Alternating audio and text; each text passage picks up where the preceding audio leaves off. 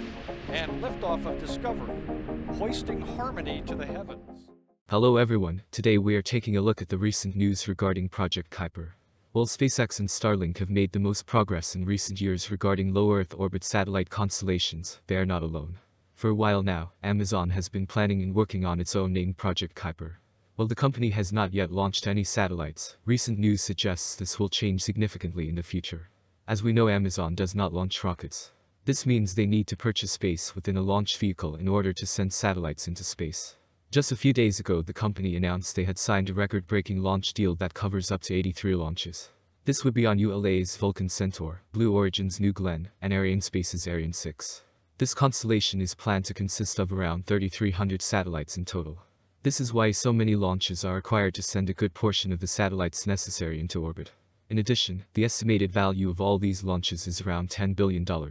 Here I will go more in depth into the recent contract, Project Kuiper, the launch vehicles involved, and what to expect in the near future. Kuiper Systems LLC is a subsidiary of Amazon that was set up in 2019 to deploy a large satellite internet constellation to provide broadband internet connectivity. This is also known as Project Kuiper.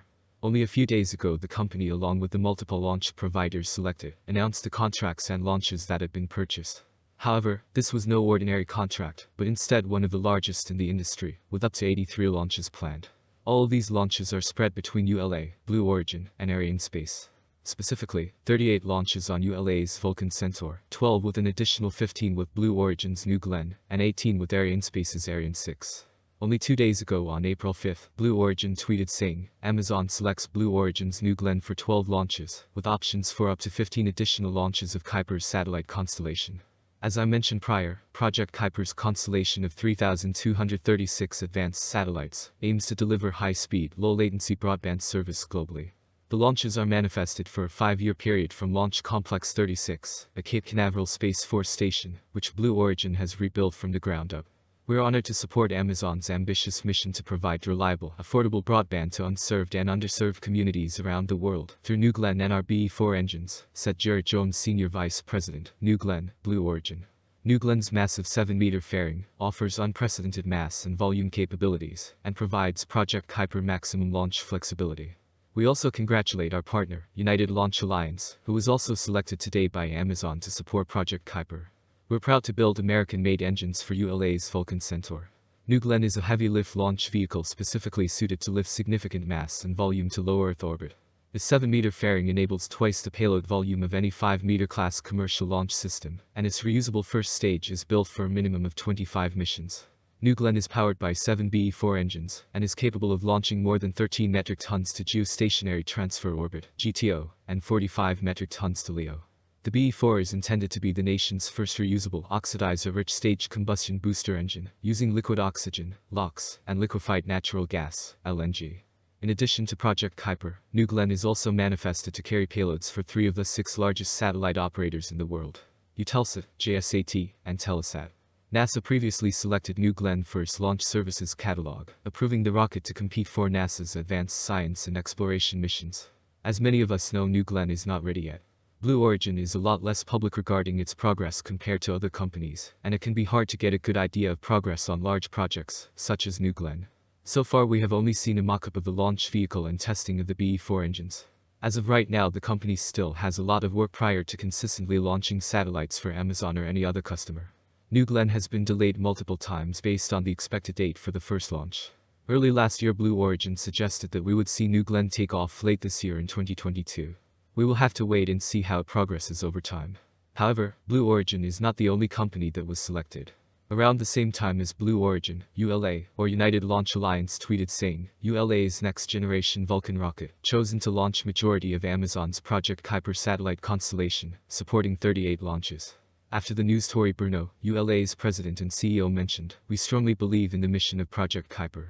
We are honored to be entrusted with the majority of Amazon's launches, with a total of 47 missions, including the 9 Atlas launches already on contract. At ULA we are focused on serving our customers and partnering with them to provide unmatched flight capabilities in mission operations and assurance, to provide the lowest risk and best value launch solution. The Vulcan missions will launch from Space Launch Complex 41 at Cape Canaveral Space Force Station in Florida. ULA has decades of experience and a proven track record across dozens of successful commercial and government missions, and we're proud to have them on our team, said Rajiv Badyal, Vice President of Technology for Project Kuiper at Amazon. Our work together to enhance launch operations at Cape Canaveral stands to benefit the broader space industry and contribute to greater resilience in space operations. Not only this but Vulcan Centaur's unique single-core heavy lift design, coupled with its industry-leading large payload fairing, makes it an excellent fit for Amazon's deployment of the majority of its Project Kuiper constellation, said Chris Ellerhorst, ULA Director of Strategy, Business Development and Sales. In addition to the launches, this partnership includes substantial investments made by both companies in high-rate production, launch vehicle improvements, and launch infrastructure to support Amazon's long-term launch needs, which is great for the U.S. aerospace industry and supply chain. The initiative is designed to serve individual households, as well as schools, hospitals, businesses, government agencies, and other organizations operating in places without reliable broadband services.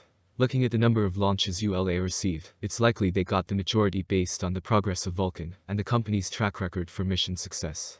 Unlike some of the other companies picked, the Vulcan Centaur has made a lot of progress and is primarily just waiting on Blue Origin's BE-4 engines before a test flight expected not long from now. Finally, the last launch provider that was picked, Arianespace. At the same time as the other two companies, Arianespace tweeted saying, We are proud to announce that we have signed a contract with Amazon for 18 Ariane 6 launches to deploy Project Kuiper. The largest contract we have ever signed. As you can imagine, these contracts are a very big deal for each of the companies involved. Whether they got just over 10 launches or over 30, it provides them with a guarantee for the near future of their launch vehicle and more. It also costs quite a bit for each launch provider. The Ariane 6 launch vehicle, a European Space Agency program, is meant to provide Arianespace with new levels of efficiency and flexibility to meet customers' evolving launch services needs across a full range of commercial and institutional missions. Developed by ArianeGroup, Arianespace's parent company, and its European industrial partners, Ariane 6 will deliver increased payload performance, plus enhanced flexibility to launch a wide range of missions, with the same high reliability demonstrated throughout the Ariane program. The next generation launch vehicle will be built in two versions. Ariane 62, which is perfectly suited for institutional missions, and Ariane 64, which primarily will serve the commercial market. Based on the companies picked, it looks as if Amazon is confident in the future launch vehicles and what these two companies and agency can produce. While none of the rockets have had their first test flight yet, some are getting close. The success will have a direct impact on Project Kuiper and much more. Conclusion while Starlink has made significant progress over the past few years, it is not the only low Earth orbit satellite constellation in the works. Amazon has been working on Project Kuiper for a while now, and just made a very large purchase to send a majority of its satellites into LEO. Only a few days ago the company announced contracts with Blue Origin, ULA, and Arianespace for up to 83 launches. These launches are all planned on new launch vehicles including New Glenn, Vulcan Centaur, and Ariane 6. We will have to wait and see how it progresses and the impact it has on the space industry. Thank you very much for watching.